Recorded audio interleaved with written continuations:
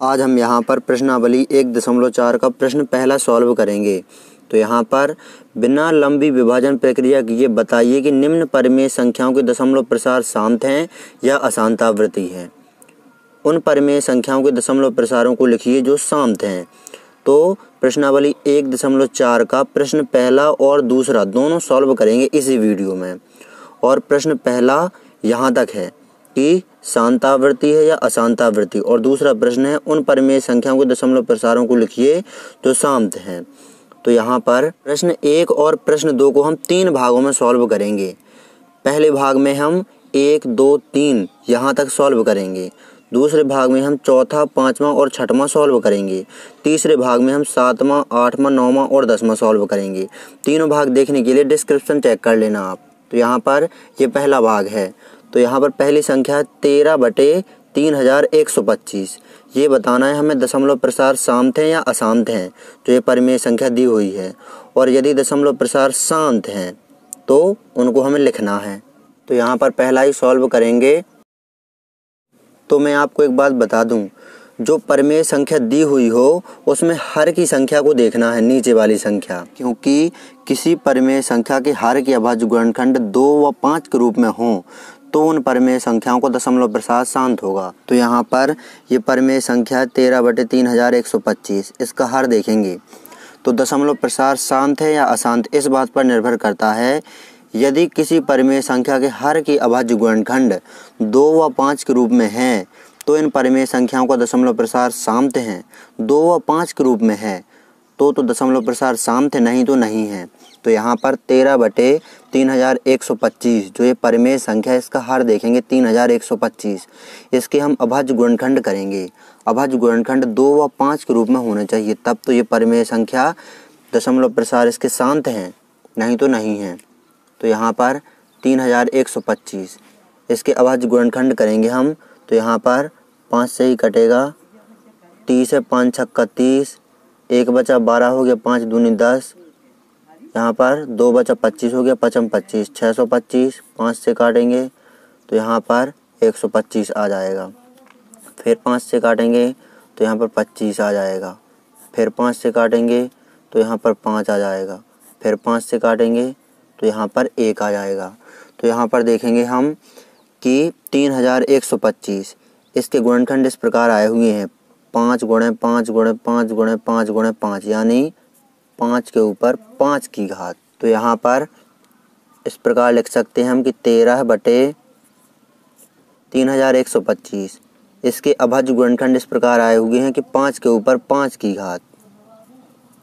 तो मैंने कहा था कि किसी परिमेय संख्या के हर के अभाज्य गुणनखंड दो व पाँच के रूप में हों तो उन परिमेय संख्याओं को दशमलव प्रसार शांत है। या केवल दो के रूप में हो, या केवल पाँच के रूप में हो, या फिर दो व पाँच दोनों के रूप में हो, ये घात नहीं देखना है। जो यहाँ पर ये संख्या ये देखना है, ये दो आना चाहिए, या पाँच आना चाहिए, या फिर दो और इंटू में पाँच दोनों आ जाए तो दशमलव प्रसार शांत हैं। तो यहाँ पर जो ये परमेय संख्या है, इसके दशमलव प्रसार शांत हैं। तो ये हमें पता लग गया कि जो तेरह बटे तीन हज़ार एक सौ पच्चीस, ये परिमेय संख्या इसका दशमलव प्रसार शांत है। शांत वह कहलाता है जिसमें किसी भी संख्या का पूरा पूरा भाग चला जाए। यदि हम तीन हज़ार एक सौ पच्चीस का तेरह में भाग दें तो पूरा पूरा भाग चला जाएगा। यहाँ पर दशमलव में भी आकर के चला जाएगा, लेकिन बार बार वही संख्या की पुनरावृत्ति नहीं होगी बार बार भाग नहीं जाएगा। दशमलव प्रसार इस प्रकार कहलाते हैं। शांत यहाँ पर मैं उदाहरण भी दिखा देता हूँ। यदि हम सत्रह में तीन का भाग दें। तो यहाँ पर ती पाँचे, पंद्रह, दो बचा, बीस हो गया दशमलव लगाया तीछंग अठारह, फिर दो बचा, बीस हो गया तीछंग अठारह। इस प्रकार ये छः छः छः छः बार बार आता जाएगा। तो ये है दशमलव प्रसार अशांत, बार बार भाग जाए। लेकिन वहीं यदि हम पंद्रह में तीन का भाग दे रहे हैं तो पूरा पूरा भाग चला जा रहा है। भाग दशमलव के बाद भी चला जाए या फिर सीधा सीधा बिना दशमलव के ही चला जाए तो होता है परमेय संख्याओं का दशमलव प्रसार शांत दो संख्याएँ ये ऐसी हैं, दो व पाँच।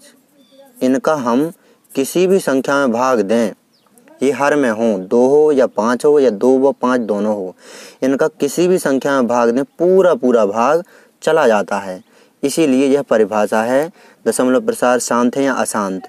यदि किसी परमेय संख्या के हर के अभाज्य गुणनखंड दो व पाँच के रूप में है तो दशमलव प्रसार शांत हैं। अब हम यहाँ पर जो पहला है, इसी के दशमलव प्रसारों को लिखेंगे। तो यहाँ पर तेरह बटे पाँच के ऊपर पाँच की घात इतना ज्यों का लिख दिया।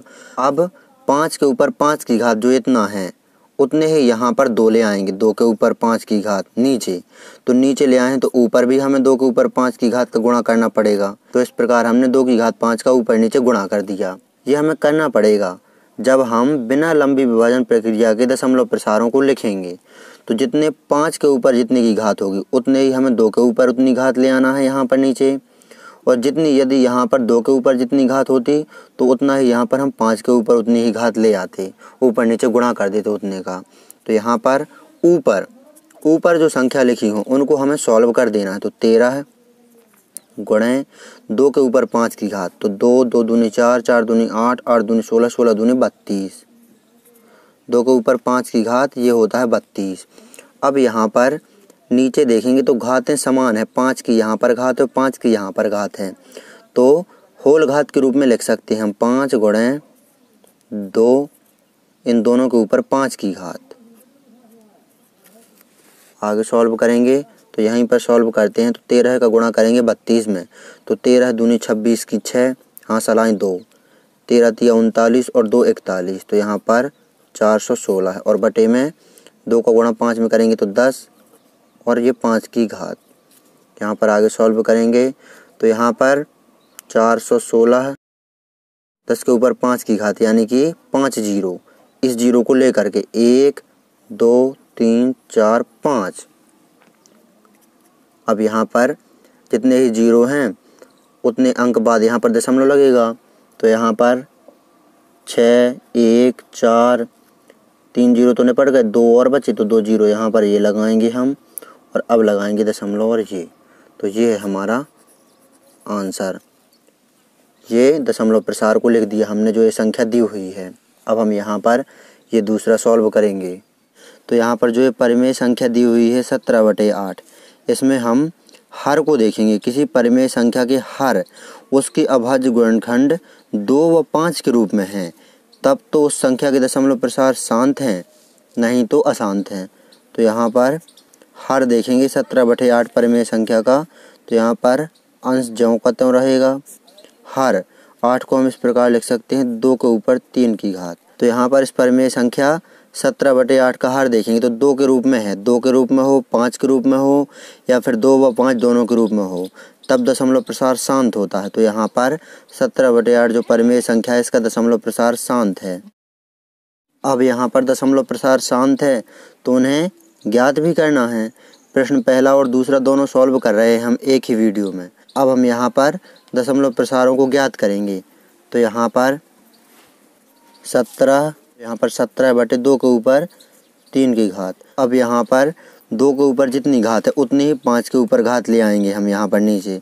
तो यहाँ पर दो के ऊपर तीन की घात है तो यहाँ पर पाँच के ऊपर तीन की घात, ऊपर नीचे हम गुणा कर देंगे। हमें ले आना है नीचे।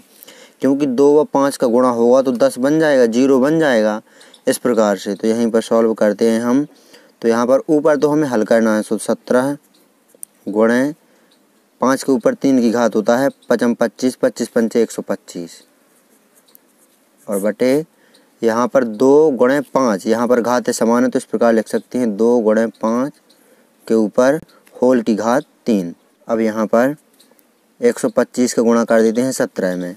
तो यहाँ पर सत्रह पन पचासी की पाँच हाँ सलाई आठ। सत्रह दूनी चौंतीस चौंतीस और आठ बयालीस की दो हाँ सलाई चार। सत्रह एकम सत्रह और चार इक्कीस। तो यहाँ पर इक्कीस सौ पच्चीस और बटे में दो गुणे पाँच होता है दो पंच दस दस के ऊपर तीन की घात। तो यहाँ पर इक्कीस सौ पच्चीस बटे दस के ऊपर तीन की घात, यानी कि तीन ज़ीरो। एक हज़ार होता है दस के ऊपर तीन की घात को हम सॉल्व करेंगे। तो यहाँ पर तीन ज़ीरो हैं तो तीन अंक बाद दशमलव लगा देंगे। तो यहाँ पर पाँच, दो, एक, तीन अंक होगा दशमलव लगाया और दो।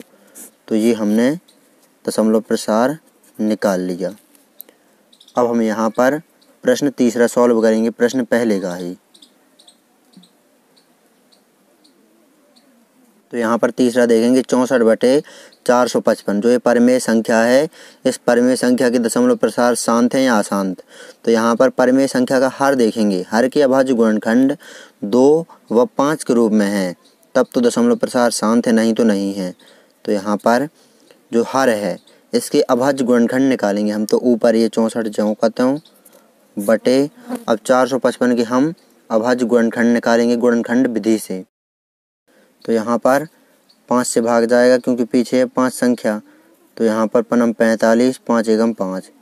अब यहाँ पर सात से चला जाएगा तो सात एकम सात। इक्कीस हो गया सात तिया, इक्कीस तेरह। आगे अब यहाँ पर तेरह से ही जाएगा।